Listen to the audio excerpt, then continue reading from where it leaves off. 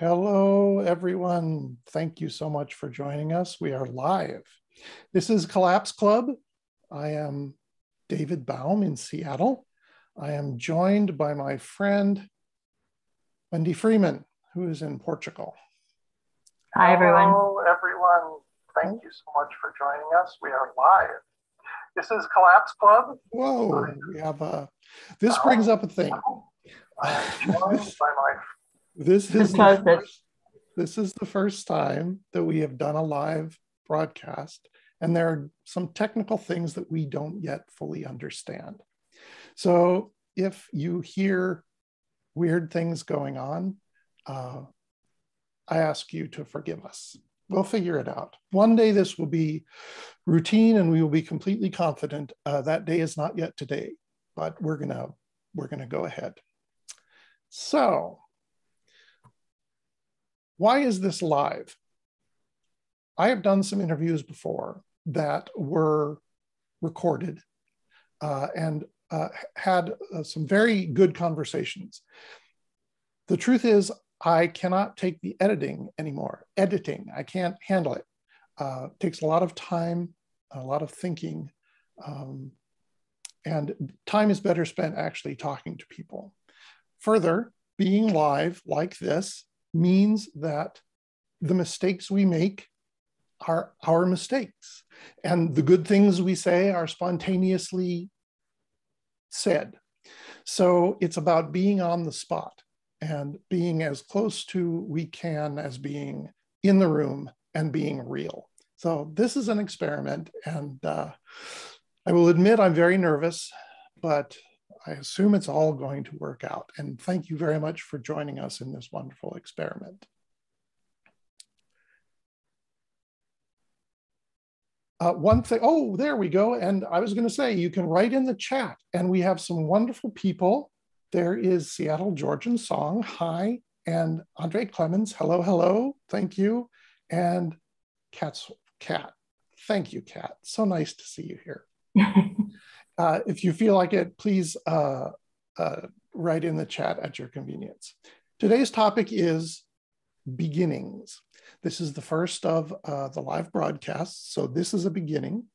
And the topic of starting things in the time of collapse is rather poignant because if you believe that our society and our world face substantial challenges that may lead to really substantial transformation, things may not be as they are now. And some of the things that we set out to do now may not be possible to do. So, why start? Let me uh, ask you, Wendy, when you think about beginning things, what do you think about?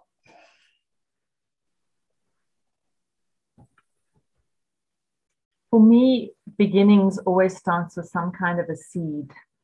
So whether it's human beginnings, and I'm not I'm not particularly talking about childbirth and, and babies, but human beginnings for me often start with education or an idea that comes from somewhere.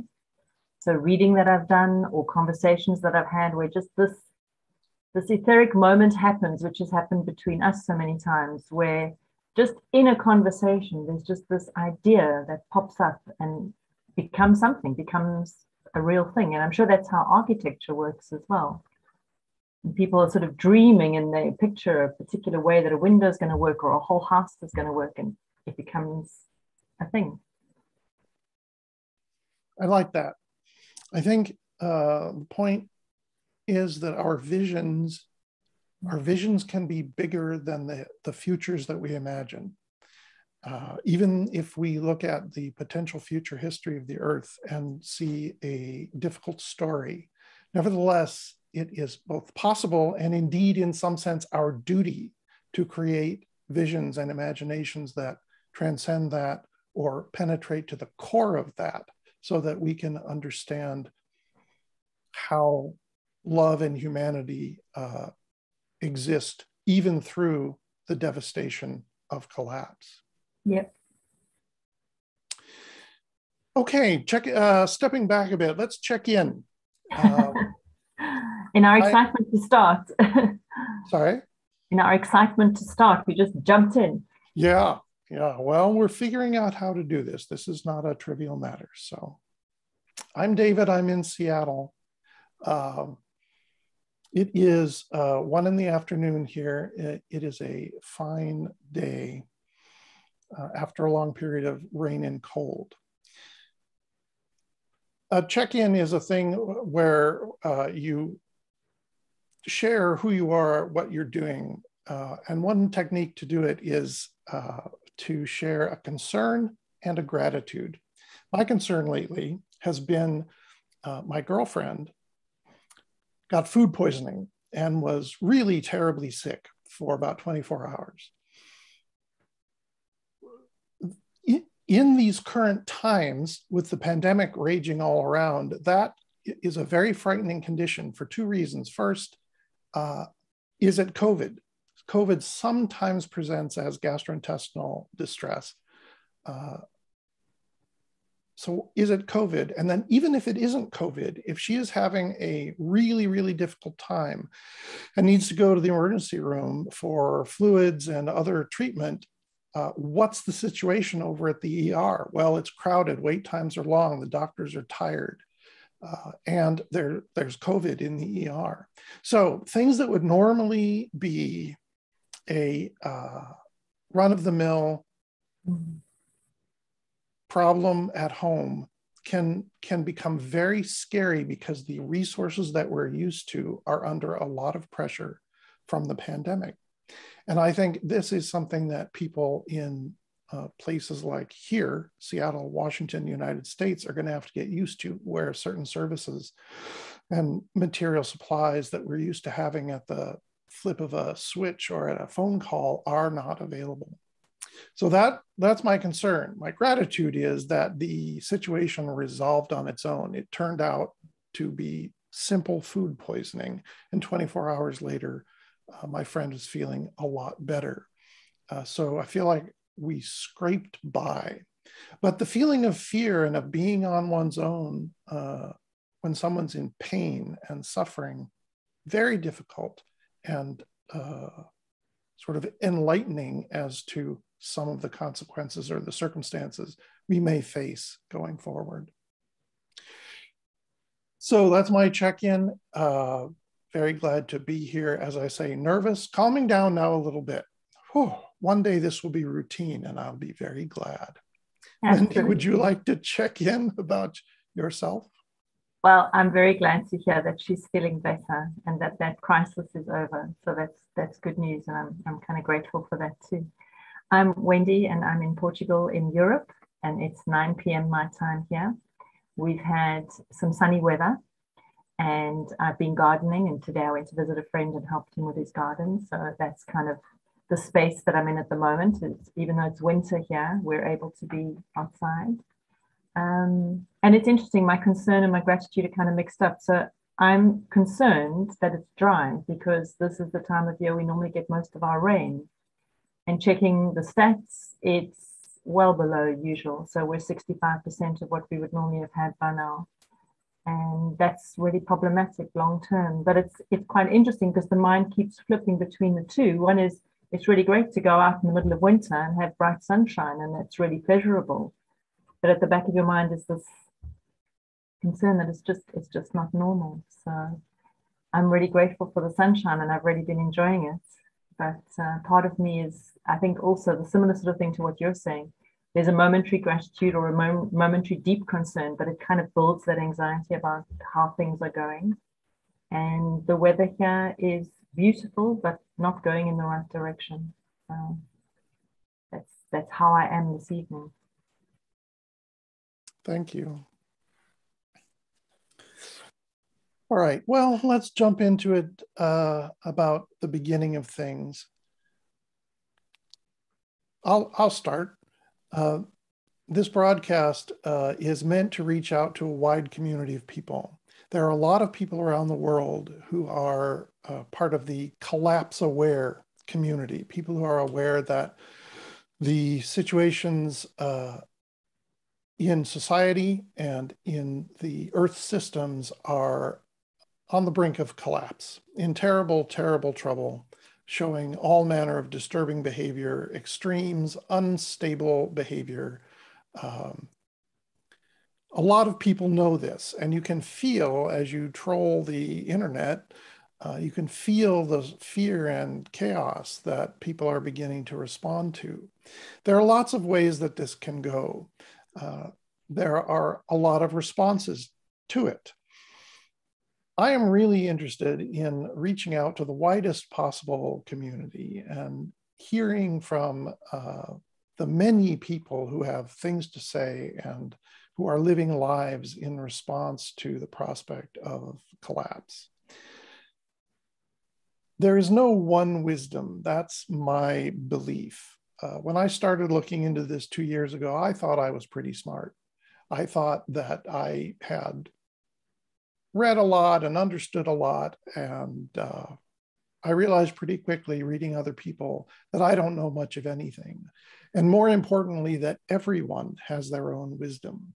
People bring their own uh, intelligence and their own experience, uh, their own journey to the discussion of collapse and what to do about it, how to respond to it. And so the purpose of this enterprise, this collapse club, this repeated online interview, uh, discussion, conversation, uh, place, space. The purpose is to gather the kaleidoscope of human wisdom, to uh, hear and learn and see uh, what the human community does in response to the prospect of collapse. So there's only one way to begin. A journey of a thousand miles begins under your feet. I'm so grateful to have at the beginning my friend Wendy, who uh, is full of wisdom and has been, we have worked together uh, in certain communities uh, for, for a year or more. Um, and it's been a joy to learn from her. Wendy, I'd like you to talk about your garden and how that uh, serves as your response to the prospect of collapse. Happy to do that, David. I have um, some pictures for everyone. So I'm sharing those. It might take a moment for them to come up. I realized quite a long time ago that um, we were at the beginning of something very different for society and, and the world as I knew it. I was living in London at the time. And I did quite a lot of research, and I had lived in Portugal at one stage before. And I came across to Portugal and looked at land. And yeah, we, we're not going to talk for very long, so I'm not going to go into too much detail about it. But I decided to buy a small, a small farm here. And my purpose was to practice permaculture. That felt like the kind of thing I wanted to begin in the face of so many potential endings that I could see around.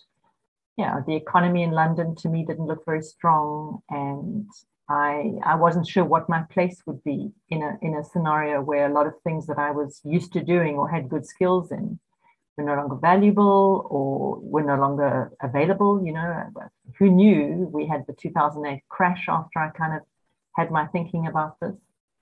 So I came across to Portugal and I bought this small piece of land that had been used as um, pasture for some horses who you'll see occasionally in the background of the photos.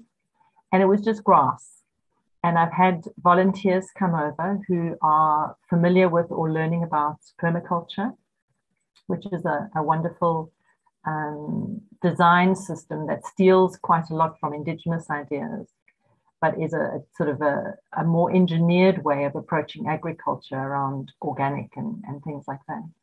And I've been working with ideas that people have given me and books that I've read to change the land here.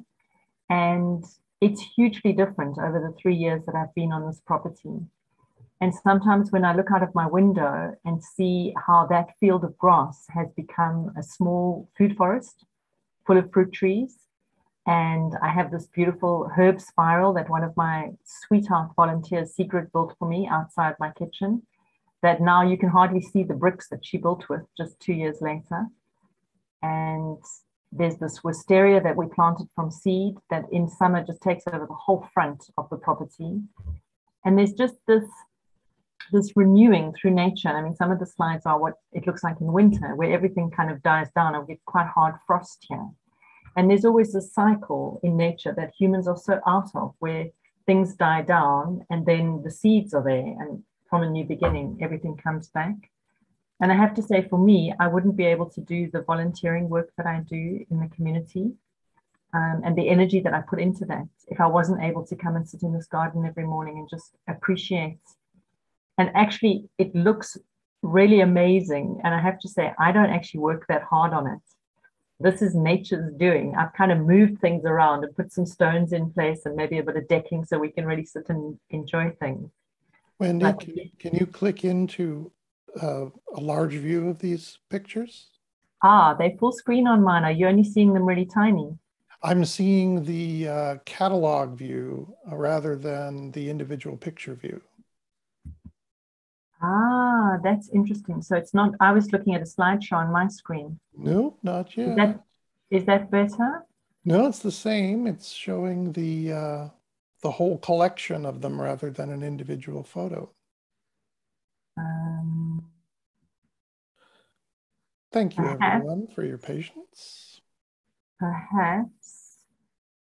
Uh, yeah. If I bring them up full screen here, David. Oh, I'll tell you what it's doing. Let me stop the sharing and share the enlarged view. There we go. sorry, you. everybody. This is the patio that I, oh, sorry. So I was watching a slideshow, but you couldn't see what I was watching. Okay, we know for next time. So I'll give you the technical detail on that later. So this is towards the end of the slideshow because I've been chatting for a while. This is what my garden looks like now when I look out my kitchen door. And none of this was there before. This used to just be grass outside there. This amazing red colored flower here is a pineapple sage, which is just the best plant in the world. A friend gave me that. And here's some um, produce from my garden. And this is this wisteria that I mentioned that's been growing from seed. That's just really huge now. And I think that that was the, that was the end of the slideshow. Go back to the beginning, please, so we can see the. I will do. Give me a sec.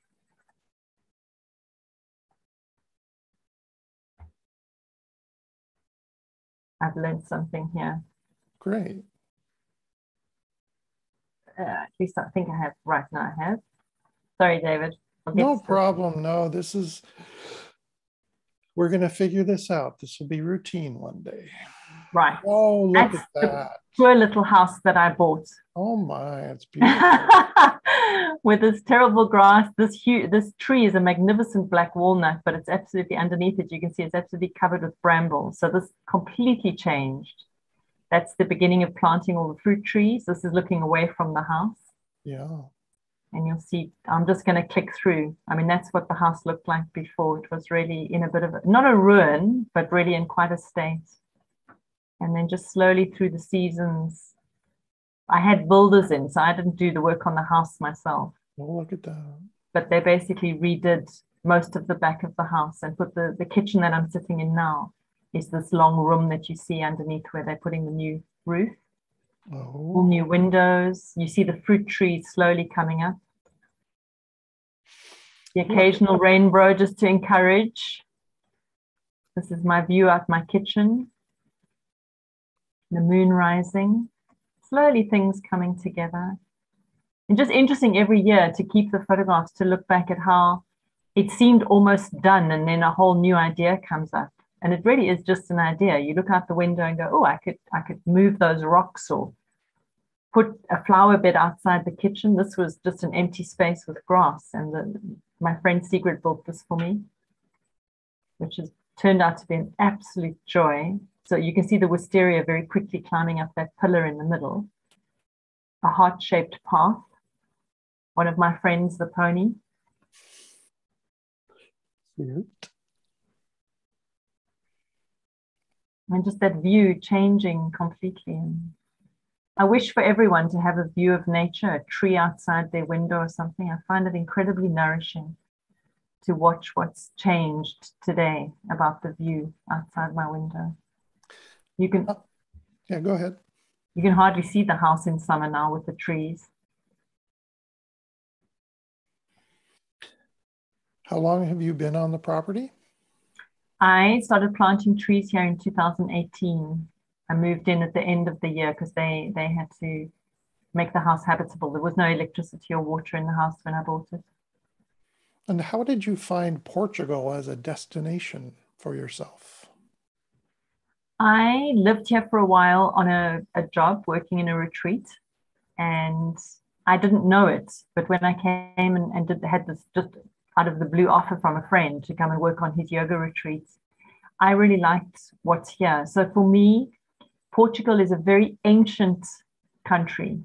Um, there's a lot of deep history here. They have standing stones that are older than, than Stonehenge. And you kind of feel it in some of the towns that humans have lived in these spaces and, and nurtured these spaces, stewarded nature here for a very long time. It's not by any means perfect. In my mind, they're doing a lot of things wrong with big plantations of eucalyptus, for example, some questionable ideas about lithium mining and things like that. But it's a lovely little country with, I think, everything of the best that Europe has to offer. And for the moment, very stable weather. So who knows which direction that will go in. But um, this is the, the amazing pineapple sage that I'm talking to, which you couldn't see. and that you can hardly see the house now. It's it's quite fabulous. Yeah, it's just lovely. Do you find that uh, making the garden connects you with the people that are in the community where you live? Absolutely. I have a lovely space in the in the backyard, which is partially covered in summer, and we have product swaps there. Mm. So I'm very much trying to introduce some of these concepts around sharing economy, degrowth, um, a new economy in a very practical way. You know, have people around to my house, have to explain carefully that no, you don't put a dollar price or a euro price on the things. You actually just offer them and let someone come to you and offer a service or a swap or I mean, what actually ends up happening is people move into their own generosity. And we've had people arrive here with boxes of stuff that they don't need, beautiful stuff, you know, nothing, not garbage. And just say, look, we actually have a date this afternoon. We can't stay, but just give this away. If anyone wants it, just give it away. Someone brought last time a, a barrow load.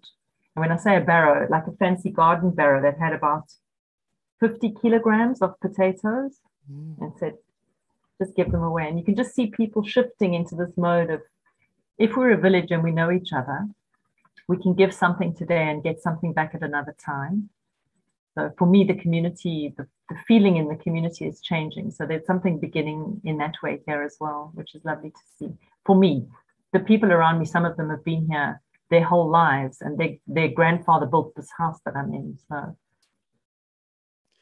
do you find that the sense of community gives you a buffer against the chaos and confusion of collapse that is engulfing the world?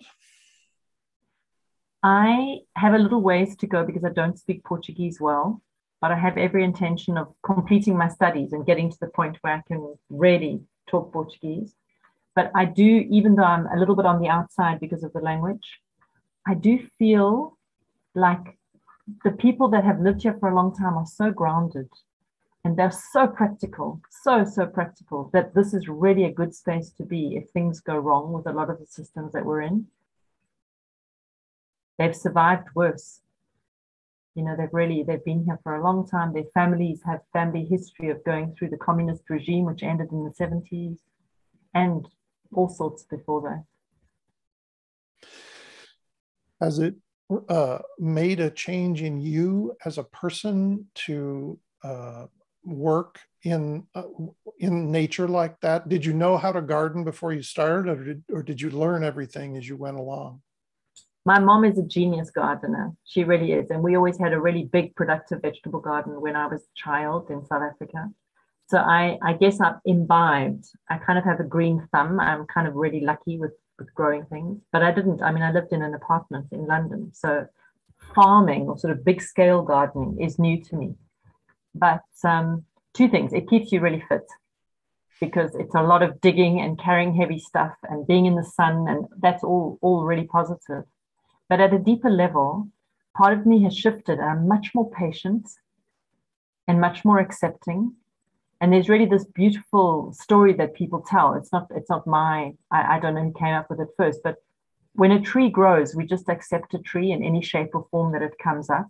You know, no one ever goes past a tree and goes, oh, you know, the tree's to this or to that. It's just a tree. It's exactly perfect the way it is.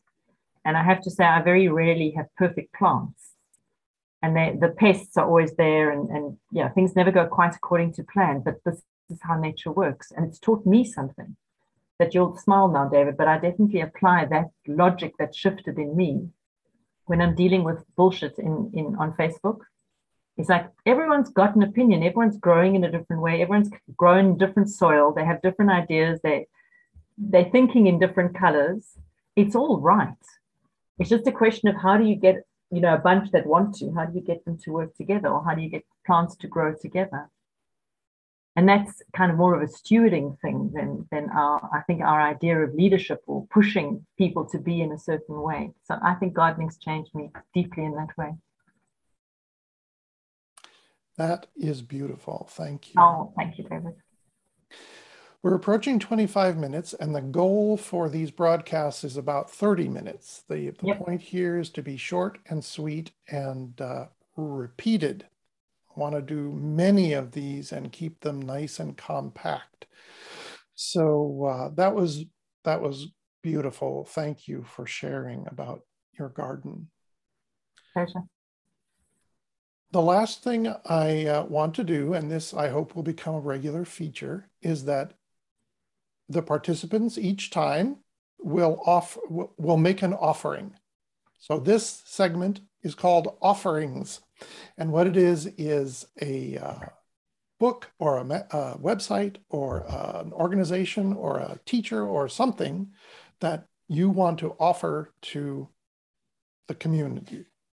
So I asked you in advance, and uh, the listings are in the description of the video, but could you tell us about what you want to offer today?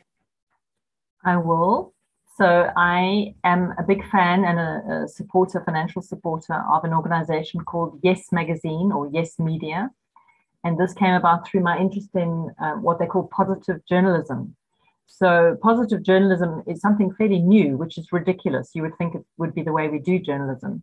But the idea is to investigate a bit deeper and talk about solutions so report on the problems, but always look to see if victims of a crime or people who are suffering from a weather disaster, how are they dealing with that? You know, what's the next step after you publish the horrible photographs, the disaster photographs? What do people do after that? So I subscribe to Yes magazine online, and I have found it incredibly helpful in just expanding my ideas of that disasters happen to everyone and people have bad luck but there's so many brilliant ideas that people are so strong and deal with it. You know, there are ways of dealing with just about everything. So I found it really great and I highly recommend it. Quite uplifting. Thank you. And the list, the uh, link to Yes Magazine is in the description below this video. My offering is a philosopher I just discovered. a fellow called Iain McGilchrist. And there's a link to one of his videos in the description. He has just written a book called The Matter with Things. Uh, his previous book was called The Master and His Emissary. And Iain mm-hmm. McGilchrist, uh, first of all, he's a jolly old fella, but incredibly erudite and with an education. He has more education in his little pinky than I have in my entire body. Um, but he's lovely to listen to. The video linked is an interview with John Cleese of Monty Python. Oh, yeah. Uh, they have a great, a great discussion. Well, Mr. McGilchrist's area of study is the different functions of the left and right brain hemispheres, but it's not physiological science. It is, uh, it is about the human mind. Mm-hmm. And to sum it up quickly, uh, it turns out that human beings have two different minds working at the same time. And those two different kinds of mind correlate with the hemispheres of the brain uh, in a very subtle and fascinating way, and he goes into it. Uh, but uh, a caricature of a summary is that the left brain is about the, the right hand, for most of us, reaching out and grabbing food, identifying a single thing. We want it, we grab it, we take it. It also includes language and words and categories and uh, making things general and uh, lining them up. The right brain is about the entire picture, a comprehensive understanding of what's going on. And the types of attention are different, and what they see is different, and how they handle it is different. And uh, I won't attempt to summarize. I just commend you to to listen to him because it turns out that in our modern day, the left brain is dominating. We reach out, we grab, we control, we take. And uh, it turns out that several times in history, the rise of left brain thinking has corresponded with the collapse of society. He's also just wonderful to listen to. So my offering is Iain McGilchrist. You can start with the John Cleese interview and then just uh, search on YouTube for, for his name and you'll find a lot of informative and entertaining material. That's it for today. This has been we marvelous. Survived, David. We survived. Nerve wracking, I'm telling you. one reason I had to do this was I felt like the energy was just going to burst out of my body and uh, blow me apart. And I needed to be in connection with you, Wendy, and hopefully then with the entire community going forward. Please subscribe if you like to uh, this uh, channel. You'll get notifications. If you click the little bell, you'll get notified when we're going live. I have one more scheduled following here with uh, Melissa Allison and Jens Holtman, some very independent thinkers about how to respond to collapse, some fairly idiosyncratic views on the theme of independence. So you'll see that listing in the channel. That sounds great. Hope you'll join us. Um, Wendy, any last words? David, thank you for doing this. Thank you for giving us an opportunity to, yeah, I love chatting with you anyway, but I'm excited about the rest of the series. Thank you. I, I uh, love chatting with you as well. Farewell, everyone. Uh, until we meet again, see you soon. Bye, everyone.